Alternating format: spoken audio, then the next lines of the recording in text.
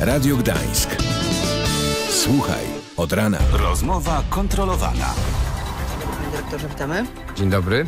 No to e, święto się chyba szykuje, tak można powiedzieć, w Gdańsku i w Zoo. Do Gdańska jadą lwy, mm, cztery lwy. Gdzie są? Jak się mają? E, dzisiaj są na trasie, jeszcze we Francji. E, na pewno się mają dobrze, bo są przewożone w warunkach odpowiadających e, normom, które są bardzo wysoko postawione dla transportu zwierząt. I spodziewamy się, że do nas przyjadą jutro. Będziemy je wyczekiwać już od południa. No, ale dopiero rano dowiemy się, jak ekipa e, przekroczy granicę, gdzie są, jak daleko do naszego ogrodu. Wtedy już no, będziemy rzeczywiście zwarci i gotowi na przyjęcie tych zwierząt. Państwo się też tego dowiedzą z Radia Gdańsk, bo my będziemy także witać, mam nadzieję, i pokażemy Państwu y, te lwy jako pierwsi. To jest tak, Panie Dyrektorze, że w mieście, w którym są lwy w herbie, nie może zabraknąć lwów prawdziwych? No tak wypadałoby. A I- kiedyś były. No kiedyś były, ale to, to były też y, czasy, w których można było inaczej eksponować zwierzęta. One były w klatkach małych, ciasnych. Czemu wtedy nie wbudowaliście takiego wielkiego wybiegu z prawdziwego zdarzenia? No trochę inna Polska była, były inne pieniądze, właśnie ich nie było. A y, taki wzrost y, rozwoju ogrodu właśnie w latach 90. nastąpił, ale mieliśmy inne priorytety. Y, Małpy żyły w ciasnych klatkach, w, w barakach, więc y, postawiliśmy na małpiarnię. E, Potem było drugie marzenie, żyrafiarnia, m, którą 5 lat temu oddaliśmy do użytku, ale lwy oczywiście zawsze były naszym marzeniem, ale odchodziły na dalszy plan. No i, teraz, i w pewnym momencie przyszedł pan do prezydenta Damowicza i powiedział, e, nie wypada, żeby w takim mieście nie było lwów, potrzebuje 6 milionów złotych, będzie pan zadowolony. No to y, tutaj od- oddaję cześć i- prezydentowi, bo to on mówił, no jak to jest, że w naszym ogrodzie nie ma e, symbolu Gdańska. E, no dobrze, że te pieniądze się znalazły. E, inwestycja właściwie na dwa lata była rozłożona, bo e, dwa lata temu zrobiliśmy wybieg półtora hektara, więc to jest potężna rzecz, a w ubiegłym roku na początku grudnia rozpoczęliśmy budowę pawilonu, no i ku naszej radości mm, właściwie no już tam prace porządkowe tylko trwają, więc otwarcie będzie huczne. Mam nadzieję, że wszystko będzie dobrze. I, i, I dobrze, będą lwy, będą piękne lwy y, czystej rasy, lwy angolskie, więc y, tutaj poszliśmy naprawdę y, po takiej linii, żeby z najwyższej półki dostać najlepsze zwierzęta. A one są ładne, te lwy? One y, właściwie się nie różnią od y, takiego wyglądu potocznego, który wszyscy znają. Lew to lew. króla lwa. Mhm. Tak, każdy wie, jak wygląda, ale wiadomo, że w Afryce, w zależności od y, regionu występowania, są różne podgatunki.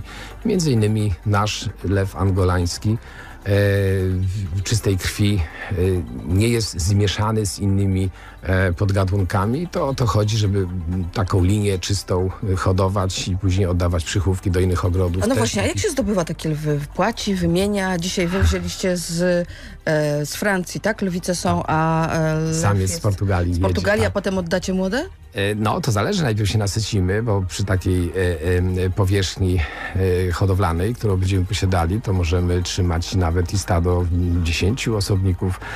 Mm, Ale gdy będzie ich za dużo, to oczywiście zgłosimy nadwyżki.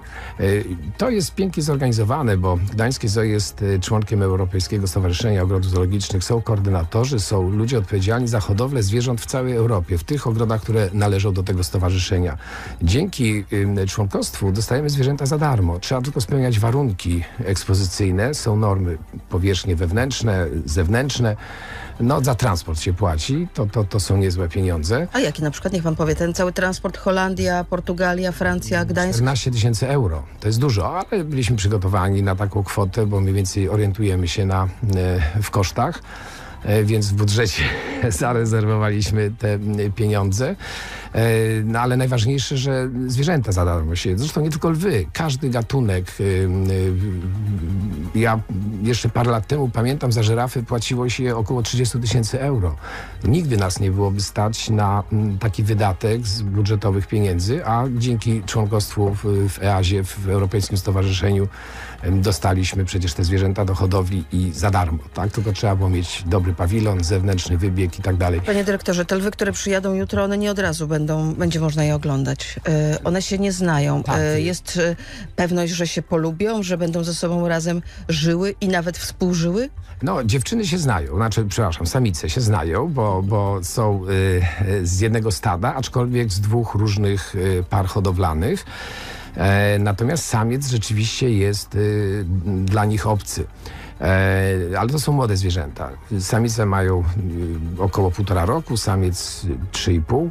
Więc liczymy na to, że bardzo szybko się ze sobą zaprzyjaźnią. E, stres, który na pewno towarzyszy teraz zwierzętom podczas podróży, jest y, właściwie atutem y, w takich sytuacjach, że będziemy chcieli je łączyć, bo dla zwierząt najważniejsze będzie zapoznanie się z nowymi e, warunkami. One będą musiały obwąchać wszystkie tereny, e, oddać mocz, bo to jest też taki wyznacznik bezpieczeństwa, pewności siebie w danym środowisku.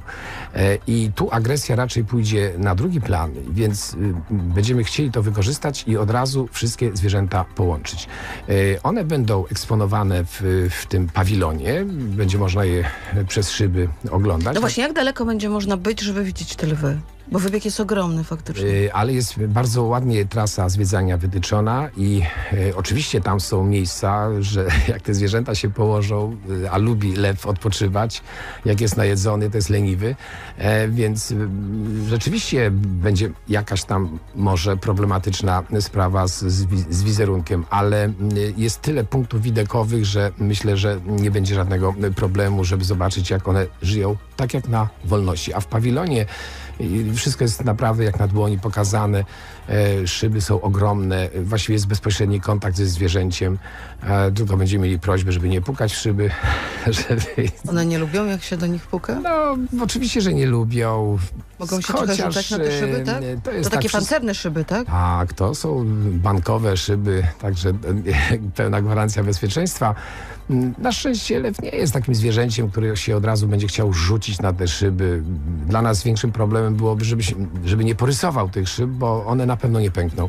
Ale ekspozycja wewnętrzna będzie bardzo dobra i na pewno na początku tylko w pawilonie one będą eksponowane, bo po jakimś czasie dopiero będziemy je wypuszczać na wybieg. No, trzeba je nauczyć, aby na, y, chcemy na dźwięk gwizdka je mm, zapraszać z powrotem do pawilonu. Muszą wiedzieć, że pawilon to jest jedzenie, ciepło, y, wypoczynek. To jest kwestia czasu i zwierzęta na pewno będą To są ułożone. zwierzęta, które w waszym ogrodzie zoologicznym będą jadły najwięcej? Jadły? Mhm. No, 7 kg mięsa y, na jedną sztukę. Tam oczywiście około 35% kości musi być, ale wliczyliśmy sobie od razu, że e, rocznie to jest 10 ton mięsa. Tylko ta czwórka będzie zjadała. Więc to są jakieś koszty.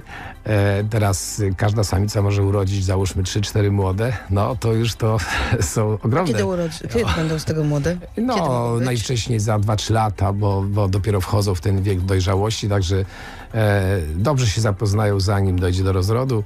E, samiec być może wcześniej wykaże taką aktywność e, e, doj, doj, doj, dojrzałego samca, tu spokojnie. Panie dyrektorze, to właśnie, a propos aktywności tego typu. Ostatnio była afera e, i niezły PR, jeśli chodzi o Pozna- poznańskie zoo, bo jednej radnej nie spodobało się osły, które no, okazywały sobie, że tak to powiem, e, miłość za bardzo.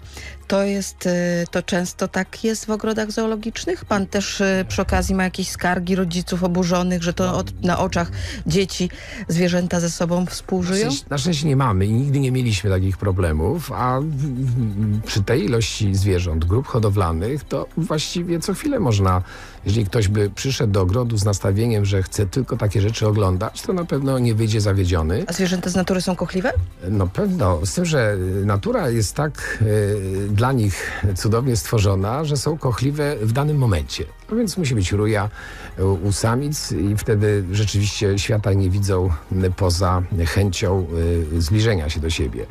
E, ale są gatunki naczelne, małpy. Na przykład jest taki gatunek szympansa bonobo, który jest chyba najbardziej inteligentnym e, zwierzęciem z tych wszystkich e, małp człowiekokształtnych i proszę sobie wyobrazić, że zaobserwowano u tych małp e, e, nie tylko taki seks dla reprodukcji. One mają nieprawdopodobną finezję, wyszukują różne pozycje, przepraszam, że o tym mówię, y, i robią to dla y, czułości, dla przeżywania y, tego zbliżenia. I z tym się trzeba liczyć, jeśli się przychodzi nie do zoo z dziećmi. ich, tak? że grupa zwiedzających na to patrzy.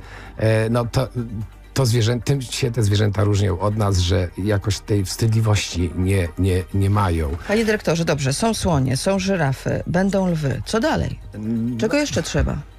No Boże, e, plany są bardzo e, optymistyczne. My mamy koncepcję rozwoju ogrodu, e, mamy cały teren w kierunku oliwy zaprojektowany w kierunku nowych wybiegów dla słoni, dla nosorożców, dla antylop. Ale to są, ja sobie zdaję sprawę, marzenia takie trochę może w, w, na dzisiejsze czasy nie do końca realne, ale wystarczy, żeby każdego roku parę groszy zainwestować w nasz ogród i, i, i on będzie zmieniał swoje oblicze. Zresztą wzrastająca frekwencja świadczy o No tym, właśnie, że bo te grosze się zwracają, prawda? Moim zdaniem tak. Kiedy oddaliśmy do użytku y, żyrafiarnię, frekwencja u nas wzrosła prawie o 30%. Z 260-70 tysięcy rocznie. W tej chwili każdego roku mamy powyżej 400 tysięcy. I jestem pewny, że właśnie pawilon żyraf, ta wspólna ekspozycja żyraf, zebr, surikatek, y, ludzie przychodzą na nowości, bo mamy y, stały elektorat, tak bym to określił. Mieszkańcy Trójmiasta, naszego regionu, poza wakacjami rozpoznajemy po twarzach niektórych gości, więc warto y, rozwijać się, warto tworzyć coś nowego, bo to jest gwarancja, że ludzie przyjdą, żeby zobaczyć, jak nasz ogród się zmieni. Różne ogrody zoologiczne przyciągają też takimi atrakcjami, jak jakieś nocne safari, e, karmienie zwierząt. Tam u was też się to częściowo odbywa. E, czy też zwierzęta spacerujące swobodnie wśród odwiedzających. Czy takie jakieś plany macie? No, zwiedzania nocą na pewno. y, W tej chwili nie jesteśmy nawet na to logistycznie przygotowani. Ogród jest parkowo-leśny. My mamy część alejek, w których nie ma oświetlenia. Wpuszczenie ludzi w nocy, żeby oglądali zwierzęta, które noc spędzają na wybiegu, myślę, że wiązałoby się z bardzo dużym ryzykiem. E, Zresztą to jest też do końca chyba mm, mimo wszystko niepotrzebne. My organizujemy mm, w ramach y, Nocy Biologów z Uniwersytetem Gdańskim takie spotkania ze studentami. E, One są bardzo ciekawe, ale proszę mi wierzyć, że to życie nocne u tych zwierząt jest y, y, no, dla koneserów, tak bym to określił, bo, bo, bo to jest zupełnie inny tryb życia u tych zwierząt. Większość z nich y, po prostu lubi spać, są nieekspozycyjne, gdzieś tam sobie leżą, czy w stajenkach, czy, czy, czy w takich miejscach odosobnionych. I na razie o nocnym zwiedzaniu Gdańskiego Zoo raczej nie mamy co myśleć. Dobrze, to teraz czekamy na lwy. Lwy będą już jutro w Gdańsku. E, proszę słuchać Radia Gdańsk, będziemy o tym informować i oglądać naszą stronę radiogdańsk.pl. Pokażemy te lwy, jak tylko będzie to e, możliwe. A zapraszamy do e, Oliwskiego Zoo 11, prawda? Czyli za tydzień w Tak, sobotę. tak, tu y, no tak, ogród ma 60-lecie powstania i obchodzimy też ten jubileusz, będzie zjazd ogrodów zoologicznych i ta lwiarnia jest jakimś ukoronowaniem naszego jubileuszu. No i tu y, ja bardzo dziękuję panu prezydentowi, że wyraził zgodę i ten dzień darmowy dla mieszkańców Gdańska e, podpisał e, takie specjalne zarządzenie, więc 11 w sobotę, 11 października, ogród od 9 zaprasza wszystkich chętnych do y, przyjścia do naszego zoo. Będzie można za darmo sobie zwiedzać wszystko, co posiadamy, a o godzinie 10.30 będzie mm, uroczyste otwarcie pawilonu dla mieszkańców naszego I będzie miasta. można zobaczyć lwy? No na pewno, jak otworzymy pawilon, lwy muszą być ekspozycyjne. E, no i zobaczymy. Oczywiście zdaję sobie sprawę, że może być bardzo dużo ludzi, więc trzeba będzie naprawdę wybaczyć nam, będziemy musieli kierować e, tym Czyli ruchem. rozumiem, rzut oka e, chwilowo, 10 sekund rzut oka na tak, lwy i, koniec. następni- Idziemy dalej. I następni, proszę. Zapraszamy w takim razie do zoo. Dziękuję za rozmowę i do usłyszenia. Dziękuję bardzo. Radio Gdańsk. Słuchaj od rana.